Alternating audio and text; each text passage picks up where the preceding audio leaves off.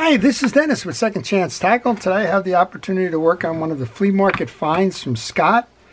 This is a big one. It's in very nice condition. It is the Daiwa 7850RL. This one is what I call beautiful reel that is grease choked. So it's probably been in storage a long time. You can see how much effort I need to to just kind of turn the handle on this one, but it does turn. And uh, well, it's kind of got a couple of interesting features. One of them is the instant anti-reverse override. It's this little push button here that enables you to have the anti-reverse. So you can hear it click, click. I think you push it out again. Oh, you push it from the other side. Push it from the other side, then you can pedal the reel backwards. Kind of a fun little feature on this reel.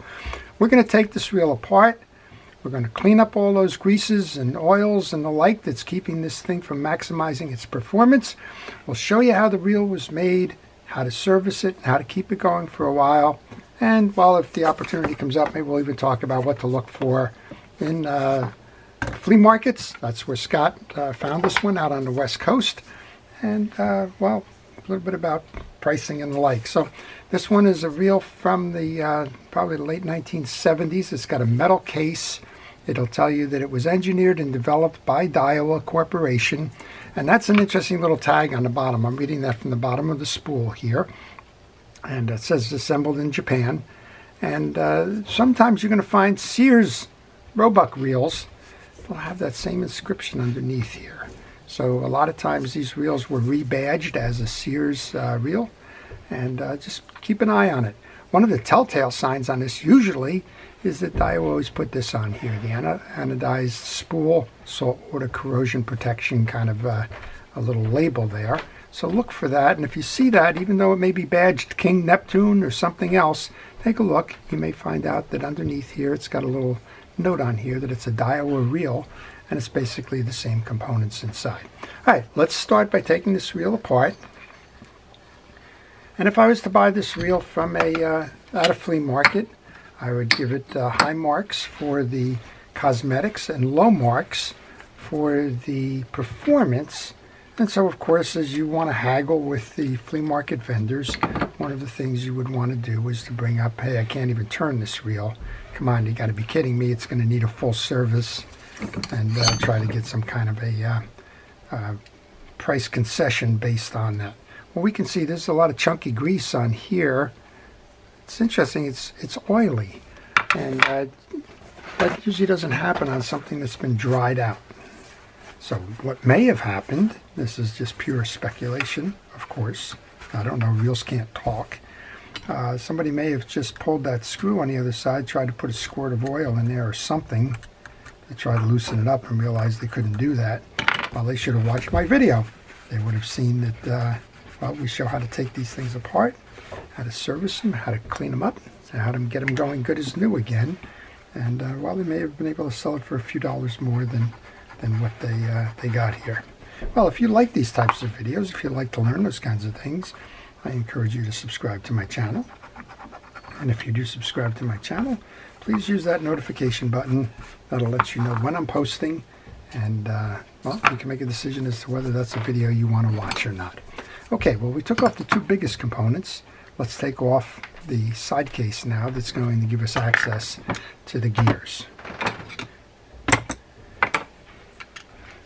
There's three Phillips head screws that are holding the case on. When I take these pieces and parts off, I like to put them into a parts tray. And my parts tray just happens to be the bottom of a fast food container. I recommend that you have a system for handling the parts when you remove them it's always a good practice to know where you're putting the pieces, and I recommend not putting the pieces onto a desk, uh, but also um, keeping them segregated so that you know sub-assembly wise where some of those pieces and parts belong. And then, of course, uh, being able to have access to them when it's time to reinstall. These three screws have been removed. We should be able to remove the side plate now. There we go. And one of the things you're going to notice about this reel is it's got a spiral drive. And that's, uh, well, to me, that's a step up in engineering. And it's uh, always an example of good quality engineering. I just had somebody looking for this little ring. How do you like that, right? Well, that ring belongs on the crosswind gear here. And, uh, well, it just was lodged in that crosswind block. And the next thing you know, you can lose that. And it's going to be very difficult to replace. You can't get pieces and parts on a reel this age. You're going to have to look for a donor reel. And if you do find that donor reel, uh, well, it may not have the part that you need. So uh, just be cautious about what you do with the reel pieces and parts as you take them off to ensure that you don't have to go to the secondary market somewhere to, uh, to get that replacement. Well, we talked about grease trapping and grease choking. Here's a good example of that. That's, uh, that's thicker than mud. It's, it's, congealed, it's old grease. And it's sort of like you uh, trying to trudge through a muddy environment. I'm going to use a flat-bladed screwdriver to kind of just work my way around that. This is in nice condition. I don't want to scrape anything up, so I'm using this as kind of just a flat blade by itself. I'm using a penetrating oil to soften the dirt. And uh, we're going to pull that up right now. Scott, you have a beautiful reel here. This one is going to run really nice. And uh, I hope you take it fishing on your uh, excursions out there. Okay. We noticed as we were cleaning that case off that there is a uh, washer that's going to go in front of the bushing and it's going to sit on this main gear here. With the main gear, all we should have to do right now is just pull that out like that. And here's the other piece, right? So always a fun thing to comment on this. This is why you can't turn the main gear. You've got a quarter of an inch or so of solidified grease that as you were trying to crank it, uh, it had to plow through in order to get there. I'm just going to use that screwdriver again. I use a paper towel on my desk to, to deposit this stuff that comes off because I don't want to transfer it right to that board and then have the next project be uh, absorbing all that old dirty grease in the lake. That's the first step. Now I'm going to just spray that with that penetrating oil again. I'm using WD-40 today, but I don't have a preference for, for penetrating oils. I use them as degreasers, not as lubricators. And, uh, well, I just let it soak and do its job. Put that over there right with that piece. And uh, we'll move on to the next part. The next part is, well, we can go any, any number of ways. There's no set requirement to do it one way or another. We still have a, a bunch of old grease on the back of the case here. And that's gravity. That's gravity working its way. You saw how it just puddled on the bottom of this reel and it puddled there because of the way it was stored. And I don't remember where that main gear was but if you're storing a reel kind of laying it like this all the greases that are in the reel are going to deposit themselves well where gravity takes them. I'm going to take the crosswind block off now and pull that axle shaft that'll enable me to get inside the case by removing the rotor. Again, you want to take the pieces and parts and have an organization place for them. I know my hand's in the way here, but I don't want to lose this screw. Then when I get that gear out of it, we'll show you how that anti-reverse works, because it's kind of fun. Now you want to pull up on your axle shaft and out. And again, look at the strength it takes to get this out, which says that we just have a ton of dried grease on that axle shaft. Any questions about performance can be answered right there.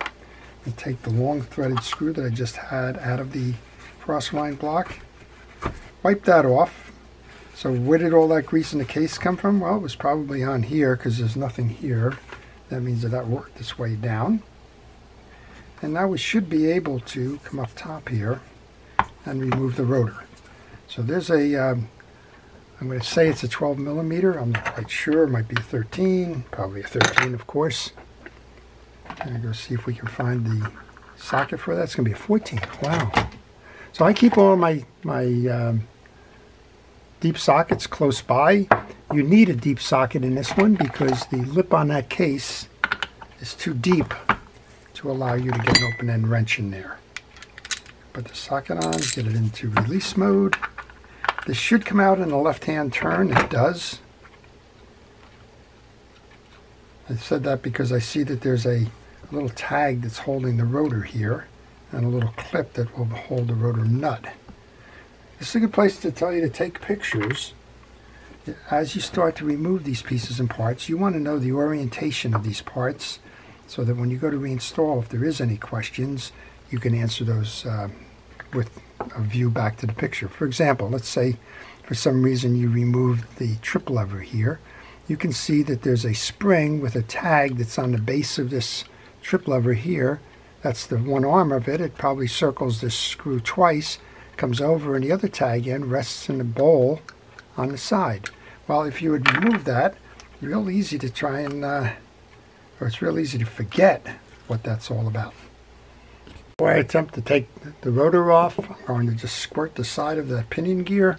Hopefully that'll enable me to pull up and out on the rotor.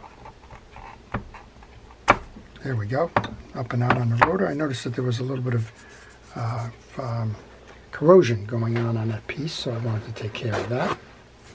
See if that can mop off or not. Now that's that's a little bit of pitting on that steel piece. That should come off now. Now let's take that off. Wipe it down, find the right place for that. I'll put that with the nut and the tie down screw. You do not need to remove the bail unless the bail is not working. So I'm just going to use that penetrating oil again on the seams around that trip lever and over on the side that has the, uh, the piece, work it in. And let's just put that on the side. And just to keep the parts in central, I'm going to put the spool from that back there. I didn't mean to, uh, to ignore the heavily uh, greased up and dried up axle shaft, so I'm going to put a little bit of that on. I'm going to use 4-row steel wool. It's a polishing steel wool, slightly abrasive. Don't use it on painted finishes and the like. You will mar the surface on it. But for something like this, to clean off the old grease and restore the uh, smoothness on that shaft, it's perfect. Okay, got that off. Wipe up a little bit at the top. Notice that there is a Teflon washer at the base of the axle shaft here. And put that into my parts tray.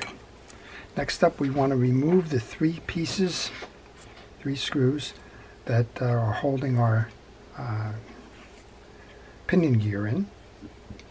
I want to be able to show you how this little thing works here. It's pretty cool. Um, two Phillips, a bigger screw. Bigger screw points to your reel seat. And always want to make sure, as you notice this stuff, uh, where the um, the alignment is of this because it will affect the bail trip. If you're not paying attention and you go to put this in a different location, your bail casting and uh, tripping will act differently. Trying to find the right screwdriver head for this one. You don't want to use an undersized uh, screw uh, screwdriver. You can't strip the threads and if you strip those threads, you may not be able to get the part off. Okay, that's two small ones. And then we have a flat-headed screw for the top one, and that's holding the ramp. And what I'm going to do here, these look like they're equally spaced, so what I want to do is I want to make sure that I leave that screw and ramp in that plate, just like that, just in case there's some kind of issue when I go to reinstall. One very big bearing here. Let's see if we can get this assembly out. Okay, it looks like this should come straight up and out because we have the, uh, there we go. We have the star that's going to catch the um, anti-reverse. Pull that bearing out. It's a rubberized bearing. It's still working nicely. Very good. Hooray for them. We have the collar underneath that bearing, and then we have the dried grease on the pinion gear. Let's go ahead and do the same thing we've been doing with the others, which is to spray that down. I'm going to get a soft brush and I'm going to pull it through. See how nice it cleans that right up? Yeah, again, when you have a grease-choked reel, you got to take all precautions to get that old grease out of there. It will be a uh, have a negative effect on your performance. Now let's get this towel out of the way. I think Scott's going to send me some more paper towels. He usually wraps his reels in paper towels and they become a uh, resource for fixing his reels. I don't go through the whole uh, piece. That's just a joke, Scott. All right, but there's truth in that joke. Look at that beautiful gear. That's probably brass. Just checking, there's a couple of spots on this gear that, again, gravity worked, that uh, the grease flowed down to the lowest point. So I would say that that was probably um, sitting this way and all the grease collected here. So I just want to, again, use that, use the penetrating oil to soften it. And now I'm using a little pick or an awl, one of those little Harbor Freight uh, multi-packs for $1.99 or whatever they are. Just want to make sure all of them get clean because if they don't, the reel is not going to turn easy. You're going to get a thump thump when you come into something like this that has a uh, level amount of grease in those teeth. Same thing we'll do here that we did with the other one. I'm going to take that soft brush and pull through the channels of the main gear.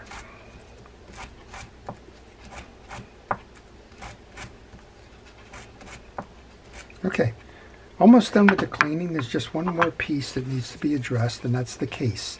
But I did want to show you as we were doing this why your anti-reverse works the way it does. Always fun. Let's see if we can get that little dirt out of there.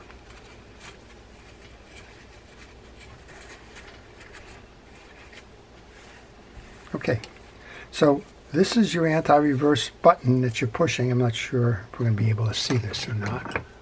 I hope we can see that. It's tapered. On this side, you have a narrow taper. On this side, you have a very wide cone. When you have the wide cone, it uh, pulls the tab in, and when you go for the taper, the spring is going to push this dog forward, as you can see there. And that's what's going to make the difference in how this reel performs. I'm going to spray that down just to make sure that that button continues to slide nice and easily. And uh, we'll go about reassembling the reel. So let's take the assembly for the pinion gear first. We're going to use fishing reel grease. I only recommend fishing reel grease. I use Penn Precision reel grease when I grease up my uh, fishing reel parts. I don't have a preference for whose fishing grease as you are, but I do have a preference that you use fishing reel grease. I use an artist brush to load the grease. I like that because it doesn't transfer the hairs into the project. And uh, those of you who watch my old video also know that I use a screwdriver from time to time to spread the grease. Of course, if I'm using a screwdriver, it's not going to transfer the hairs in either, is it? Okay, let's put that off to the side for a moment. And let's put this case back together we have the pinion gear, the collar, and the main bearing. That bearing's sealed. You don't need to, to uh, put any oils on it. It won't go in. And let's take that whole assembly and work that through. Make sure that you seat that into the the hole in the case here. And make sure it's flush on top. If it's not flush on top, you haven't seated it properly. Stop go back and do that. Let's take the tie down assembly with the big screw that goes in the back. Start there. That way you know you have it right. That's a flathead screw, so let's go ahead and put that back in.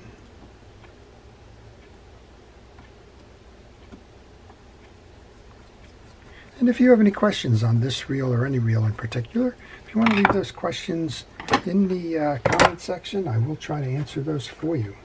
it can be on any reel, doesn't have to be on this one. Maybe you're, you like these vintage reels, you'd like to see more. Maybe you have one that you own, and maybe you uh, would like to see how that's serviced. And I have a lot of these in the library, but if I don't have one in the library and I get one in my shop, or maybe even have one in my shop somewhere, um, I'll try to do the video to show you how to do it yourself. But Generally speaking, these uh, reels follow about two or three different types of uh, architectures or design. And if you figure out the one, you can generally figure out uh, figure them out. Okay, We're going to uh, take the main gear now. This is one of those pieces, if you were wondering how it went, you go back to your uh, pictures and see. There's two sides to this main gear. It's easy to forget which one is out and which one is in. So if you took pictures, you'd have the answer. All right, back drive first. That's going to drive the oscillation gear that sits on the other case.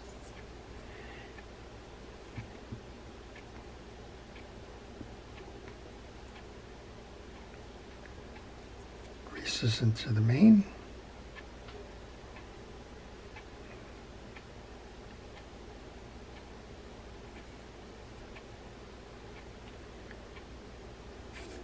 Make sure you get a good amount on there. Don't be afraid that it's going to puddle when it sits in storage. Get it done properly. Okay. That goes in so that we can drive the uh, crosswind block. I'm going to take the little washer that I've had stored here now put that on so that I don't forget that as I go to the next step. On the next step we want to put a little bit of grease onto the stud where our crosswind block rides. Got the crosswind gear, a little bit onto the back. This is an aluminum gear. Nothing wrong with aluminum gears. A lot of them will use plastic gears today.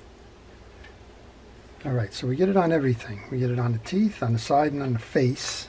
And then we can put that over the stud here for the back side of this. And then what we need next is we need that axle shaft to come through. We've cleaned that. Just a very light case coating of the grease. And then just set that aside for a moment as we go to reinstall the rotor. I'm going to hold the main gear so I don't knock the rotor off. The bowl itself is clean. If it's not, make sure that you go in there and take care of cleaning it up, do your, uh, your household work. Locate that stud for your tie down. Then locate the two flat sides of the uh, pinion gear. Actually, it's one. It's a D shape. And then what you have to do is hold your pinion gear, turn the bowl until those two prongs look like serpent's uh, teeth line up and go around the sides of that stud and take the rotor nut oops there's one more that was an oops there is that little uh, tension retaining washer. It's going to hold that nut from spinning. Another advantage to having a parts tray, you can look over there and say, wait a minute, I didn't install that piece yet. Or that's, that's what's left to do, either way. All right, switch the throw on your ratchet. Tighten it down. And now we can go ahead and grab the axle shaft, slide that through the pinion gear, bring it down, and then that has to merge in with our crosswind block. And when it merges in with our crosswind block, that hole there needs to line with the hole inside. Kind of hard to do this over the camera sometimes, but we'll see what we can do here to figure that out.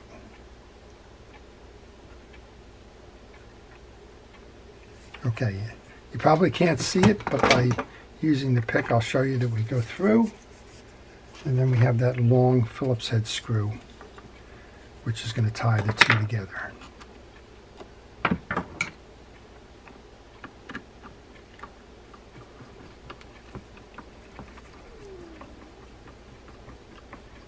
That's a long screw. All right. Next up, we'll do a little bit of grease onto the face of this crosswind gear and onto the slide which is going to ride up and down on. This is the slide so I'm just going to take it out of the way and put a little bit of grease on that. Grease into the track because that's where that stud is going to ride and grease onto the face because that's going to ride on the face of the crosswind gear here. Okay, we got two things to do now. We got to load this stud so that it rides in the track. We also got to get this piece through. And I think probably the best thing to do is keep this thing all the way out on this side so that we can pick that uh, little stud up before we go much further. There's, there is a spring behind there. Then load to the side, and then you need to eyeball to the stud in the crosswind block. With the case set, before you start tying, tying screws or anything down, make sure you got it lined up here, that all of the seams are nice and tight, and spin the reel to see, oh, it's spinning nicely already, that it's going up and down. There's no sense putting the screws in to find out that you did not align that stud on the crosswind gear with the slot in the crosswind hole. Let's grab our screwdriver then. We'll tighten these three back in. I have no doubt this reel is just going to fly. It's a beautiful reel. We saw the causes of the issues with the dried grease, what I call grease choked. And uh, I have no, no doubt, Scott, that you're going to take this one on a boat and be the envy of the folks that uh, kind of asking, what is it? Of course, you're going to have to deal with that click, click, click, because that's what this is going to make. It's going to make a hammer click. It's not the silent anti-reverse of the more modern reels. Okay, one more thing to do before we go back and test, and that's to check out what's going on with the drag washers here. Daiwa had a habit of using felt washers. They also used um, Teflon washers in a lot of their spinning wheels. I'm not quite sure which one is which, what we'll see today. But you do need to check these out. There's no sense taking this out on a boat. Going to uh, fight the fish and find out that, uh, well, the drags are shot. In this case, we only have one. okay, well, they must be very happy with the one washer that they have, but you don't get a lot of max drag with this one. Just trying to fish this out. You want to clean the cavity behind here. Get all the old dirt and grease out of there because that will compromise drag performance. We only have one washer, so I would say max drag on this reel is very low. Maybe three or four. Here's your washer that goes back in. And then we put the retaining clip back in, put that on. We do have a washer down here, but that's more about spool height. You can see it's not going to press anything here, so it's not going to help with the max drag at all. Let's align that. Go ahead and put the adjuster knob back on. We'll put the handle back on. We'll see how we did. Well, again, if you like these types of videos, I know I encouraged you to subscribe earlier. I'd like to repeat myself and encourage you to subscribe. If, uh, if you've been kind of following the whole video, now I think you have an interest in these types of things. And again, a subscription and a notification. Uh, well, they'll let you know when I'm posting. And I post on all kinds of reels. This one happens to be a vintage saltwater reel. Tomorrow, maybe a low profile bait caster. I might be working on the, the latest lever drag. We never know. Find the screwdriver that fits the slot to tighten that. Again, you don't want to butterfly these reels. And uh, let's see how we did. We'll look at this. Huh? Talk about a nice, smooth, easy cranking fishing reel. That's this one. Let's use that fun little thing here. Let's get that anti-reverse working. There you go, Scott. They know when you got one on the line now when you're working that reel. Make sure your bail trips. Nothing less expected. And that's it. That's how you service your Daiwa 7850RL. Beautiful reel. And uh, had fun doing that. I always have fun working on these vintage reels.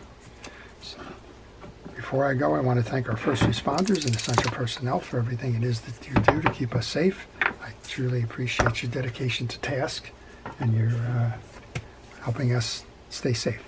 To everyone, enjoy the art of reel repair. Don't be afraid of these older reels. Take lots of pictures. Make sure that uh, you have a good organization system for your parts that you remove. Be careful. Take your time. There's no rush in reel repair.